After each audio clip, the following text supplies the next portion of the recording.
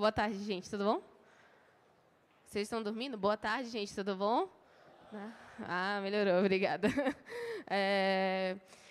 Bem, eu vou falar um pouquinho de ciência de dados. Eu não trouxe código, então não vai assustar ninguém. Espero. E a ideia é mostrar para vocês alguns conceitos, um pouquinho de história, como surgiu, por que é buzzwords e tudo mais.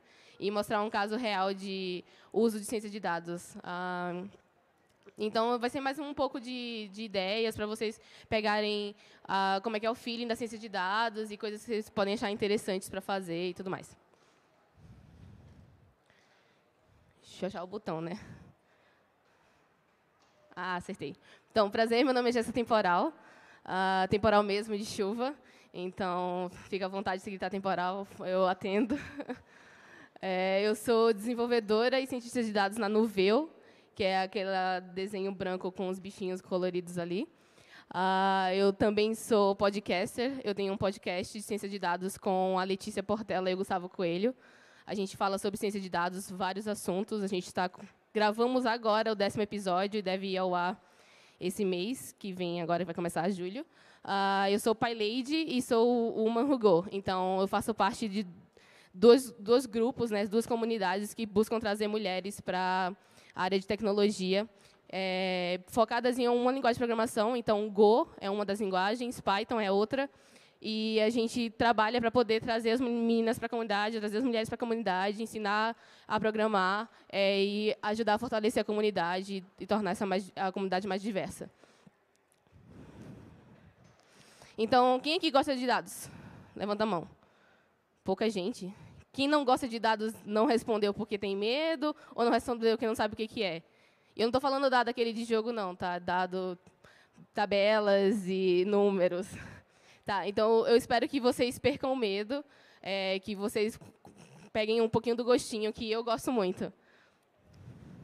Então, vamos começar por história. Né? A ciência de dados não é uma coisa nova, por incrível que pareça. Está é, tá muito em voga agora. A gente ouve falar ciência de dados, machine learning, inteligência artificial e tudo isso muito, mas é uma coisa bem antiga. Então, desde 1962, a gente fala de ciência de dados. Óbvio, os termos vão surgindo depois, até porque é uma coisa muito nova. Né? Então, análise estatística já, surge, já existe há muito tempo. É, trabalhar com dados tabulares é uma coisa que já existe há muito tempo. Trabalhar com dados não estruturados, tudo isso já existe há muito tempo. Mas os termos são muito novos. Então, é, eu botei esse artigo aqui, ele é um exemplo é, que ele começa falando um pouquinho da história da ciência de dados. Então, ele traz isso lá de trás, de 1962, mostrando artigos e falando sobre é, como surgiram em alguns passos importantes. Recomendo a leitura. Os meus slides eu vou colocar no Twitter depois, então vocês conseguem pegar os links. É, isso começa falando sobre ah, é, como é que a, a, análise de dados vai influenciar o mundo, qual é o futuro da análise de dados. Porque antigamente a gente só fazia muito é, trabalho estatístico, né? era provar hipótese, era fazer teste e tentar fazer modelação estatística de acordo com a distribuição dos nossos dados. Mas isso foi evoluindo e não ficou só na estatística.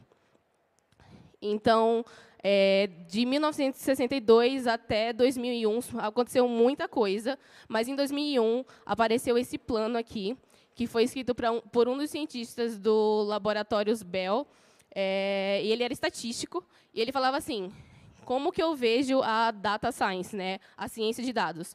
Como que eu vejo isso? É, e ele falou como era um plano para é, laboratórios e de pesquisa e universidades começarem a colocar a ciência de dados no currículo e no cronograma. Então, ele descreveu o passo a passo do que ele, enquanto estatístico, enquanto, enquanto pesquisador, achava que fosse resolver e trazer a ciência de dados para o dia a dia.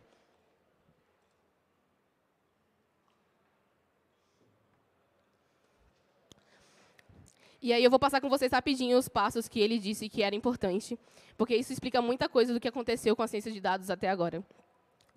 Até agora, sim, num, num formato mais recente.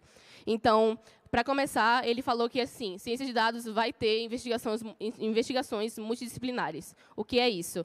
Juntar mais de uma carreira, juntar mais de uma área para fazer investigação. Então, você não vai ser só um estatístico mexendo com número e fazendo formulinhas estatísticas de somatório, de somatório, divisão, soma, média e por aí vai. Você também vai trabalhar com pessoas de outras áreas, é, biólogos, você vai trabalhar com jornalistas, você vai trabalhar com advogados, você vai trabalhar com muita gente, para poder sua pesquisa ficar mais enriquecida. Além disso, você também vai ter que investir um tempo em desenvolver e estudar modelos e métodos estatísticos para os seus dados. Então, os seus dados vão definir muita coisa do que você vai fazer como ciência de dados. É, a computação vai ser uma ferramenta fundamental e você vai ter que investir em ensinar a programação para pessoas. Então, você vai usar a computação como uma ferramenta para poder a sua análise ir para frente, para poder os, os seus conhecimentos eles evoluírem. É, e você vai ter que precisar de muita pedagogia. Então, você vai ter que aprender a ensinar para as pessoas as coisas que você está fazendo, porque é tudo muito novo. Então, está todo mundo aprendendo junto. Além disso, você vai ter que avaliar suas ferramentas. Como é que eu sei que uma ferramenta que eu estou usando ela é boa? Como é que eu sei que um modelo estatístico ele é bom para os meus dados? Eu vou ter que avaliar, eu vou ter que ver como ele desempenha, eu vou ter que comparar ele com outros dados e por aí vai. Então, você vai ter que investir nisso. E teoria. A base da ciência, da ciência de dados é estatística, é matemática, é muitos outros conceitos que eu não vou falar agora, mas que existem, estão por aí. E você vai ter que aprender a teoria e vai ter que ter essa base bem definida. Então, esses foram alguns passos. Eu coloquei ali o link para vocês quiserem ler, está em inglês. Mas se vocês quiserem ler e puderem, é, eu super recomendo. Ele é bem sucinto, não é um inglês rebuscado, então é muito legal. Tá, mas e aí? 2001 eu ainda não via, tipo, pessoas colocando no LinkedIn, ah, eu sou cientista de dados, blá, blá, blá. Então, o que aconteceu foi, lá para 2008, mais ou menos, é, esses dois caras, o Jeff e o DJ Patil, eles começaram a popularizar o termo cientista de dados. Então, eles começaram a trabalhar muito, vamos dizer assim, no marketing da palavra. Então, eles começaram a usar esse termo para descrever as coisas. Eles começaram a postar artigos sobre, sobre esses assuntos. E foi com isso que ciência de dados começou a ter um nome assim mais poderoso. Porque era uma coisa que era feita desde 1900 e bolinha, e mas as pessoas não sabiam como chamar. Ah, o que, que você faz? Ah, eu mexo com um banco de dados lá, e eu faço SQLs no banco. Ah, eu mexo com as tabelas gigantescas. E tudo isso, para explicar para os coleguinhas o que, que era, era muito difícil.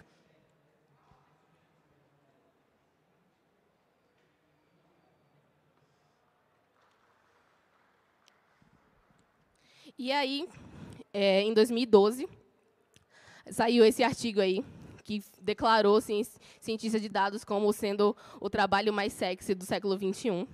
Então, está na moda. E, assim, por que, que, por que, que isso surgiu? Né? Análises de sites como Facebook, que são... É, Facebook não, desculpa. É, LinkedIn, que são sites especializados em você colocar informações profissionais, é, mostraram as pessoas começando a taguear suas skills como ah, análise de dados, ciência de dados, e usando esses termos. E aí começou a crescer muitos perfis com esse tipo de, de informação. Então, começou a se provar a população, é, que a população estava usando isso, estava querendo isso, e as empresas estavam procurando isso quando estavam descrevendo os cargos nas suas empresas. Então, às vezes você tinha uma empresa, um cara que trabalhava com mexendo com os dados da sua empresa, mas você não sabia como chamar. E aí, a partir dessa época, mais ou menos assim, 2008 até 2015, o pessoal começou a usar esse nome com mais peso e aí começou a sendo popularizado muito mais o termo. E aí o pessoal fala assim, tá, mas o que, que um cientista de dados faz? É, como é que a gente vira um cientista de dados? Bem, o caminho é longo. É, teve um pesquisador indiano, se eu não me engano, ele fez esse mapa. Parece o um mapa do metrô, né? O metrô de São Paulo é bem parecido com isso. Então, cada uma das linhas, cada uma das cores, é, seriam um pedaço da, da, da ciência de dados, é, e cada estação seria o que você precisa estudar e aprender bem para você ter é, fluência naquela parte. Então, é, óbvio, esse mapa, se eu não me engano, é de 2013, então está um pouquinho desatualizado, tem muito mais coisa para colocar aqui dentro. E, meu, olha para isso, é muita coisa, ninguém sabe tudo isso. Então, assim, existem cientistas de dados que são generalistas e especialistas. E aí você começa a ter as divisões, né? Então, se eu tiver um cientista de dados que trabalha com Big Data, é muito provável que ele seja mais especialista. Enquanto um generalista teria noção de Big Data, saberia o que são os modelos, saberia o que são as coisas, mas ele não é aprofundado naquilo. Então, você pode ter largura ou você pode ter profundidade. Até porque é muita coisa para estudar e a gente tem que estudar o tempo inteiro, porque as coisas vão se atualizando. Cada dia que passa surgem novas coisas. Então, é muita coisa, não assustem. E é estudo constante. Tá, mas o que, é isso de fato? Esse diagrama de Venn, que para quem não conhece o diagrama de Venn... Alguém não conhece o diagrama de Venn? Levanta a mão. Beleza. Isso é um diagrama de Venn. tá, eu vou explicar como funciona. Você coloca as informações dentro de cada um dos círculos. E você tenta cruzar esses círculos. Então, o que é comum em cada um deles vai se cruzar, e aí você coloca ali naquela intersecção entre um círculo e outro. No centro, a gente tem o que seria a, interse a intersecção de todos esses três círculos. Então, se você misturar é, conhecimentos matemáticos e estatísticos, habilidades de hackers, né, programar e por aí vai, e conhecimento é, específico de uma área, no meio você vai ter o cientista de dados. Então, alguém que manja de tudo isso. Mas, é, como eu falei, pode ser em profundidade ou em largura. Então, essa é uma forma mais simples de explicar o que é cada coisa. Então, por exemplo, machine learning seria a mistura de hacking skills com a matemática e a estatística. Então, quando você mistura a capacidade de programar modelos e programar redes neurais e por aí vai, com o seu conhecimento estatístico, porque você precisa saber fazer fórmulas e precisa calcular os pesos dos neurônios, você tem machine learning. Então, por aí vai. Então, a forma mais simples de mostrar o que seriam cientistas de dados seria isso. Ou desenhar um unicórnio na tela. Então, e aí você fala assim, nossa, me ajuda. Como é que... Não sei, eu quero aprender tudo isso e o que, é que eu faço, né? Então, o que aprender? No meio desse mar de coisas, a primeira pergunta, na verdade, deveria ser o que aprender. Não é, tipo assim, ah, eu quero aprender Data Science. Tá, mas o que você quer aprender Data Science? Tem muita coisa. Então, tudo vai depender do seu objetivo. Então, se, quando você tiver um objetivo para você aplicar suas, os seus conhecimentos, vai ser muito mais fácil você delinear qual o seu caminho de estudo. Sempre que alguém chega para mim e pergunta assim, Jéssica, como que eu viro cientista de dados? Eu falo assim, depende. Depende de qual que é o que você vai querer fazer. Se você quiser trabalhar com dados biológicos, o caminho é um. Se você quiser trabalhar com dados de economia, o caminho vai ser outro. Vão ser similares? Vão, vão ser similares, porque as, as, os caminhos são tortuosos eles se cruzam. Mas não está bem predefinido isso. Então, vamos lá. Eu vou dar um exemplo. Tem como dar play nesse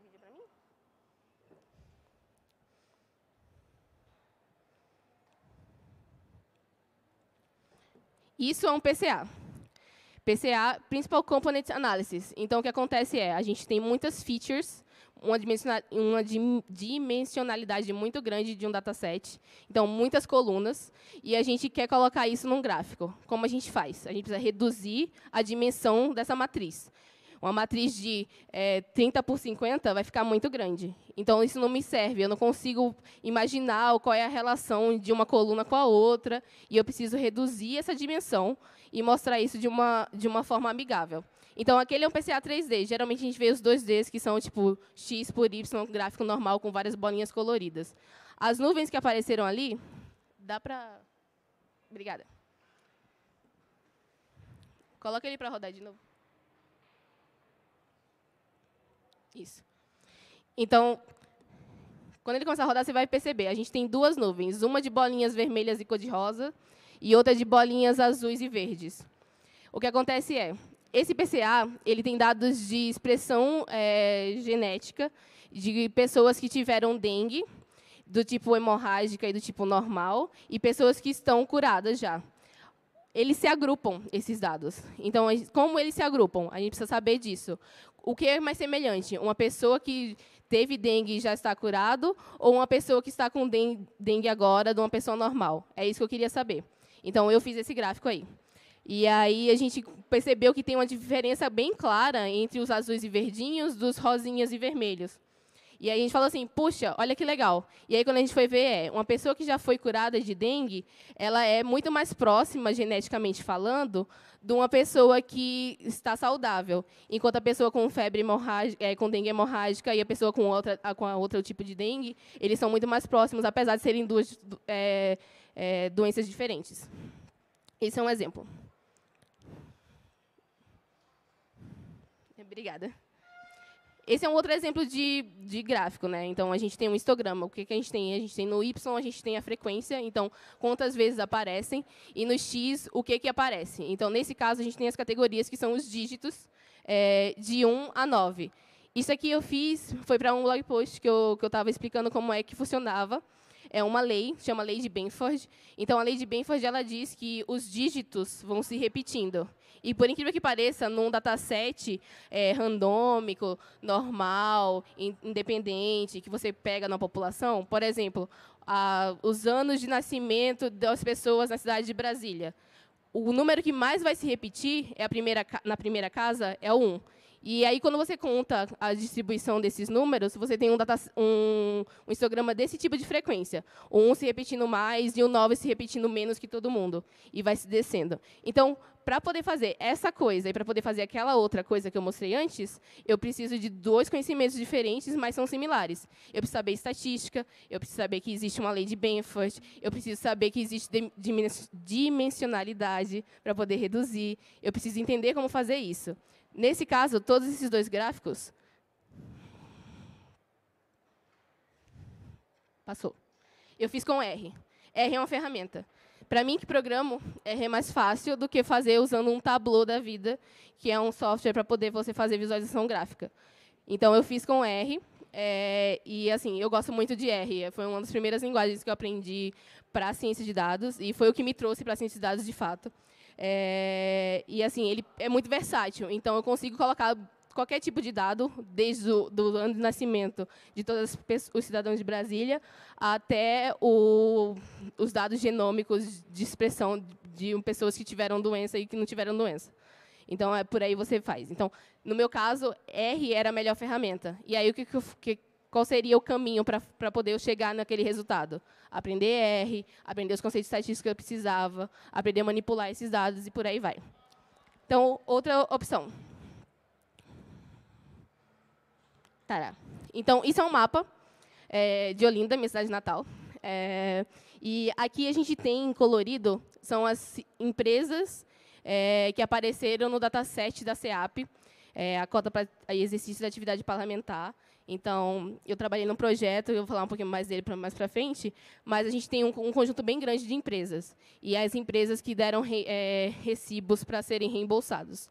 Então, o que eu fiz foi, peguei todas as empresas que eu tinha, filtrei pela cidade de Olinda, depois eu peguei as, as, essas empresas e filtrei pelos... E eu criei filtros para cada um dos bairros. E cada bairro tem uma cor. E aí eu consegui colocar isso no mapa. E esse mapa é interativo. Está no meu site, a gente consegue clicar e ver quais são as informações de cada empresa. É muito legal. Outra coisa que dá para fazer, análise de texto. Então, se eu quiser, é, por exemplo, investigar qual, que, qual que é a origem de cada palavra, qual que é a classe gramatical dela, por exemplo, se ela é verbo, se é substantivo, se é adjetivo, eu posso fazer isso também. E tudo isso é diferente daquele outro tipo de, de exemplo que eu dei dos gráficos, mas ainda é análise de dados, é análise de dados textual. Então, assim, depende, de novo, depende do que você quer fazer. Isso eu fiz com Python. No caso, o primeiro exemplo eu que fiz foi com Python e uma biblioteca chamada Folium, que ela permite você colocar os pontos no mapa. É, e o segundo exemplo foi a Letícia Portela, minha colega e amiga, é, que estava é, apresentando uma biblioteca chamada Space, ou é SpaceI, não sei direito a pronúncia, é, para poder fazer análise textual. Por exemplo, e aí você fala assim, nossa, mas que biblioteca é essa que eu não conheço? Existe outra que é muito mais famosa, por exemplo, o NLTK, para análise de texto. É, existe. Mas aí, se você só quer tipo, dizer se é um verbo ou não, talvez o NLTK seja uma bazuca para matar uma formiga, entendeu? O Space é, é muito mais simples e muito menor. Então, para que, que eu precisava aprender para poder chegar naqueles resultados? Python, eu precisava entender como ler textos, como ler os dados é, de geolocalização, eu precisava saber como usar as ferramentas. Então, os caminhos são diferentes, apesar de ser análise de dados e ciência de dados da mesma forma. E aí você fala assim, tá, tem muita coisa para aprender, mas como faz isso? Como que eu aprendo? Ajuda, Luciano. Então, opções. Aí o Self Java, a pizza de dados é uma opção. Então, se você gosta de podcast, recomendo, super legal, tem gente legal falando lá. E não sou só eu e os meus amigos falando, né? A gente convida pessoas que entendem muito do assunto para conversar com a gente. A gente estuda, a gente se prepara, a gente faz, é, tira dúvidas e conversa. Parece uma conversa, tipo, sentou todo mundo numa mesa, ah, vamos conversar sobre tal coisa. E aí a gente fala sobre os assuntos. Além disso, a gente cadastra é, no nosso... O Pizza tem um blog, então a gente cadastra cada episódio, tem todos os links para todas as coisas que a gente mencionou tecnicamente falando, para poder vocês terem referência e poderem pesquisar. Isso é uma opção. Do mesma forma que existe pizza, existem outros podcasts sobre esse assunto, mas o legal do pizza é que ele é em português, então fica aí a dica. É, Data Bootcamp, por exemplo, é um curso, é, vai ter aqui em Brasília, vai ter em Floripa, e está tendo, vai ter em São Paulo agora também no mês de julho. Então, procure cursos. É, as pessoas do Data Bootcamp são super acessíveis. É, eles estão também no no Twitter, vocês podem pedir ajuda. Eles estão querendo trazer aqui para Brasília, eu, mas eu não sei se eles conseguiram a data ainda. É, e aí é uma forma de aprender. Outra forma, Udemy, uma plataforma de cursos. Então, existe muito material na Udemy, só que tem alguma uma dificuldade que é estar tá em inglês. Então, complica um pouco para quem não souber inglês. É, eu, eu já fiz alguma coisa no Udemy, não lembro o que agora. E o Dast, outra plataforma. Então, o que não falta é plataformas. Da mesma forma que tem essas que eu citei, tem outras tantas. Tem cursos do MIT no, no EDX, tem cursos do, de faculdades americanas. Então, tem muito conteúdo na internet. Até porque ciência de dados não é uma graduação que você pode chegar na faculdade e, nossa, vou me formar cientista de dados. Ninguém sai formado cientista de dados.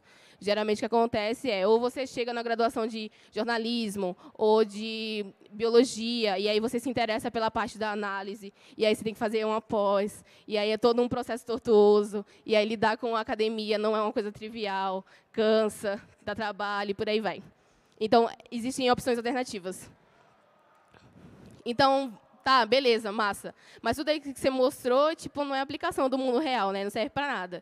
É só, tipo, exemplo de código, exemplo de, de prova de conceito ou o que for. É, então vamos para uma aplicação que vai ser legal. Então, a Rose é a minha aplicação favorita do mundo real.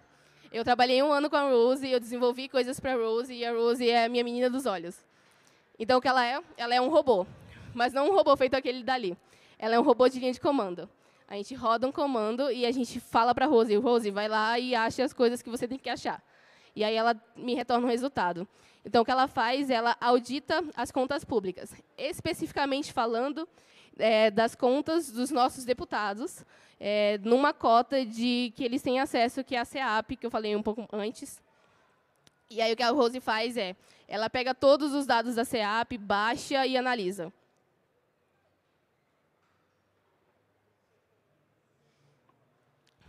Mas como assim?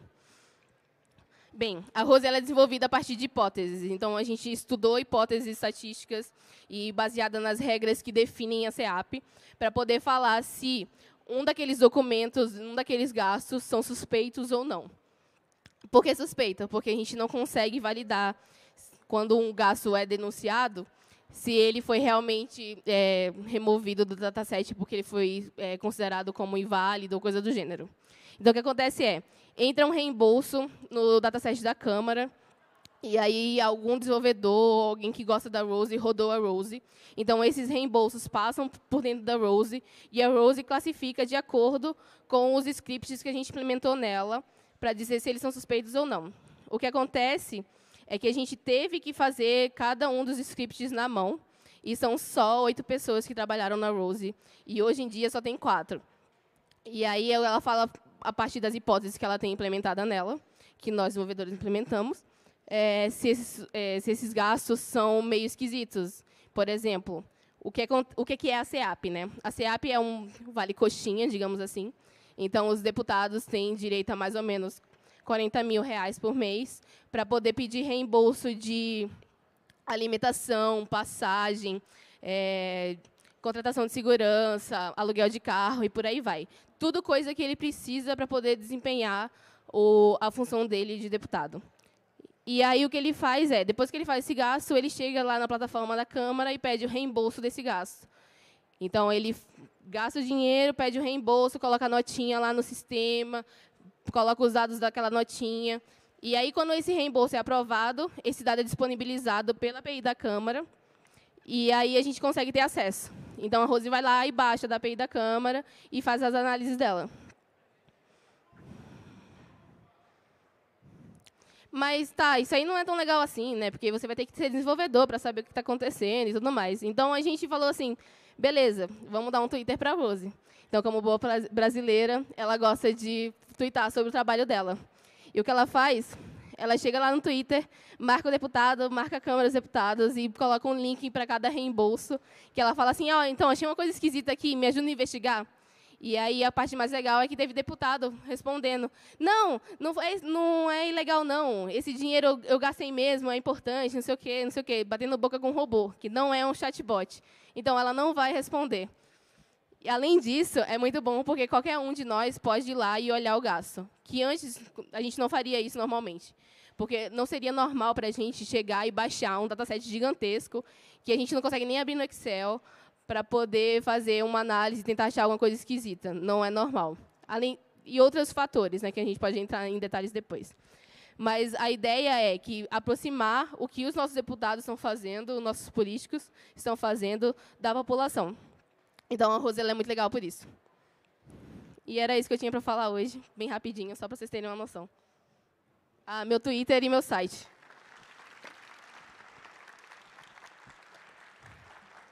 Perguntas, comentários, dúvidas, manda bala aí.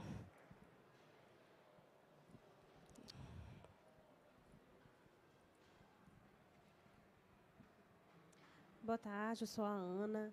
É, eu me interessei muito pela, por essa área, mas eu tenho uma dúvida com relação às certificações. Já existe uma certificação nessa área, ou uma que ajude né, nessa parte de dados, mas assim, só SQL, como é que funciona? Então, é aquilo que eu falei, né? A gente não consegue ir para a faculdade se formar cientista de dados. É, mas como as plataformas, por exemplo, o Udacity, o Udemy, Coursera, é, DataCamp também, que é uma outra plataforma, eles têm cursos. E aí o que você pode fazer é pagar para assistir o curso. O preço, às vezes, é um pouco salgado. E agora também tem aquela ideia dos nanodegrees, né? Mas se você completa um nanodegree ou um curso e você ganha um certificado, ele é super válido, super bem aceito, principalmente nessas plataformas mais famosas. Está sendo bem... É, a, o mercado está sendo bem receptivo com relação a isso justamente porque é uma necessidade que existe e as faculdades não estão suprindo e os métodos alternativos têm surgido. Quem mais? Tá.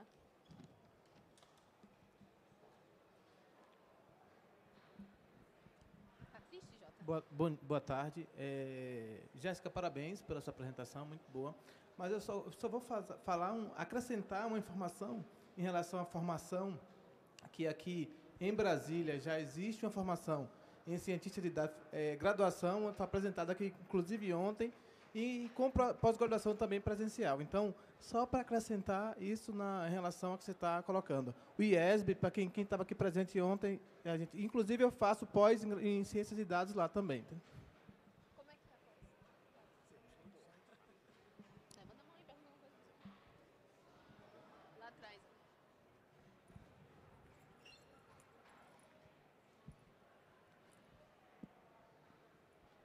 Boa tarde, Emerson Torman. É, a dúvida é com relação a, ao acesso, por exemplo, à própria Rose. É, como são duas perguntas: como eu ganho dinheiro numa área experimental como essa? Como eu faço para me apresentar a uma empresa que precisa? Né, a, é, a tua palestra dá o caminho, mas a gente nota que é um caminho bem longo, difícil.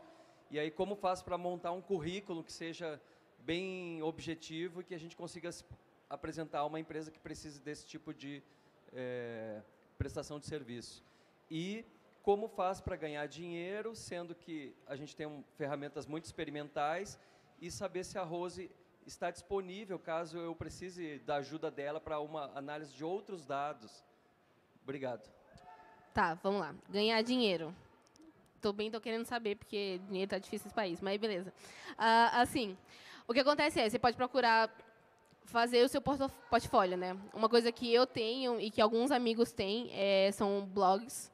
Então, a gente começa a pegar assuntos e, e postar sobre isso, tanto explicando, porque um problema do cientista de dados que a gente tem e que a gente tem que lidar com é que a gente precisa mostrar o nosso trabalho para outras pessoas, certo? Porque não é uma coisa trivial. Então, como você explica para uma pessoa que não sabe estatística que aquilo, aquele método que você empregou na sua análise é importante. Então, escrever sobre é uma, uma boa ferramenta. Como eu falei dos cursos, é, que são nas plataformas alternativas, né? É, é uma ótima, uma ótima forma também, porque você prova que você fez aquele ali, estudou e tudo mais. Então, para você ter o certificado, você geralmente tem uma prova um projeto final, que as pessoas te aconselham e te dão é, feedback e tudo mais. É, e meu, é meio que assim, na sorte, sabe? É, você tem que montar o seu portfólio fazendo as coisas. No caso da Rose, ela está no GitHub. Então, para mim, que sou desenvolvedora, é um pouco mais fácil, porque eu coloco tudo no meu que eu faço de, de código, de modelo, de análise no GitHub, e está disponível para qualquer pessoa que vá querer me contratar. Principalmente porque eu não quero chegar para a empresa para propor alguma coisa. Eu estou numa empresa e a minha empresa sabe o meu valor, então, para mim, foi, nesse sentido, mais fácil. É, outra coisa que você pode fazer para ganhar dinheiro, se você não quiser ser empregado, é montar sua empresa. é, e aí tem todos os trâmites que dá trabalho mesmo e por aí vai. Eu não sei se eu respondi a sua pergunta.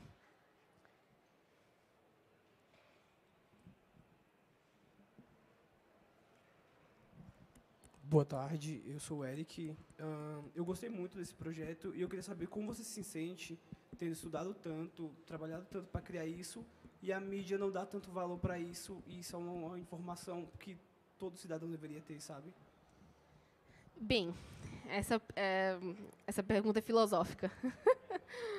Mas vamos lá. É, primeiro que eu não me importo muito com a mídia, assim, nesse sentido, não. Porque eu acho que a gente tem que fazer as coisas, mesmo que a mídia não, não vá dar tanta atenção para você, sabe? A, a ideia da Rose surgiu mais como uma coisa que a gente queria fazer.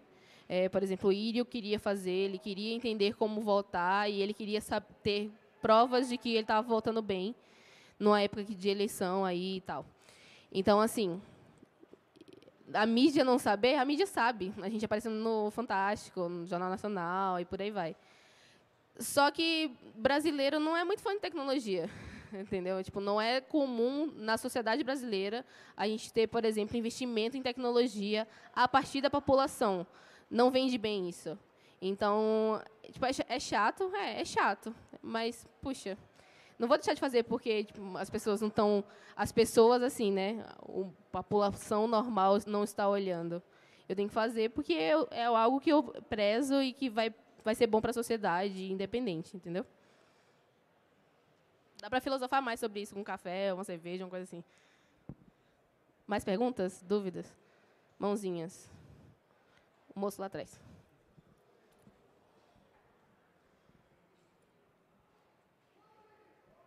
Jéssica, parabéns pelo, pelo trabalho, né? E sou da área de TI também e achei super legal esse movimento de incentivar as mulheres, né, a entrar para a área e e, cara, assim, de boa, a gente está se buscando conectar por um propósito, né? E eu, eu, percebo que você fala muito com o coração.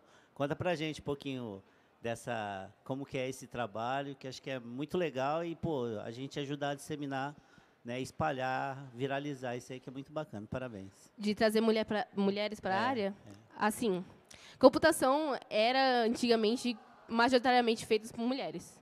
Principalmente na época da corrida espacial, aquela coisa toda. Ah, acho que o Nano falou sobre isso rapidamente na apresentação dele. Que dia que foi? Sei lá, 28? Bem, está gravado, ele falou sobre foguetes, e aí ele estava falando sobre a NASA e por aí vai. Então, o que acontece é, é dá trabalho, dá muito trabalho. Mas é muito legal você ter alguém que é semelhante seu, do seu lado, trabalhando com você. Então, a gente se esforça por causa disso porque eu quero ter alguém que vai entender as minhas angústias, sofre a mesma coisa que eu sofro, sabe? É muito mais fácil eu me identificar com a mocinha que está sentada aqui na, na, na, frente do que eu me identificar com você, por exemplo. Entendeu? Então tem toda essa questão e tem muitas outras questões. Por exemplo, as mulheres entram na área de exatas e elas não permanecem e que são coisas que precisam ser tratadas. Por exemplo, menino que é sempre brincando com Lego e um carrinho e a menina é sempre brincando com a panelinha, aquela coisa toda. Tem um vídeo na internet que eu nunca lembro o nome, mas mostrando isso, né? Eles vestiram bebês naquela idade que você não sabe se menina é menina ou menino, e aí vestiram bebês de com trocado o sexo, né? E aí as, os adultos chegavam para as crianças que estavam com a roupinha de menino, mas era menina. E aí, ah, vem brincar com carrinho, vem brincar com Lego. E aí, quando era o, a menini, o menino vestido de menininha, ah, vem brincar aqui com as bonequinhas, não sei o quê.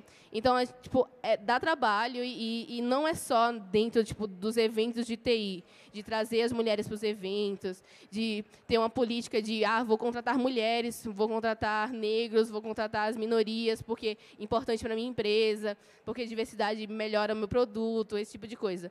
Não é só isso, né? Todo, a, toda a sociedade precisa melhorar e dá trabalho para caramba. Então, todo mundo aqui pode ajudar, os homens podem ajudar e as mulheres têm que levantar a voz. Eu sei que dá, dá medinho, é difícil, mas a gente vai conseguir. É, acho que é isso. Mais perguntas? Mão? Então é isso. Obrigada, gente.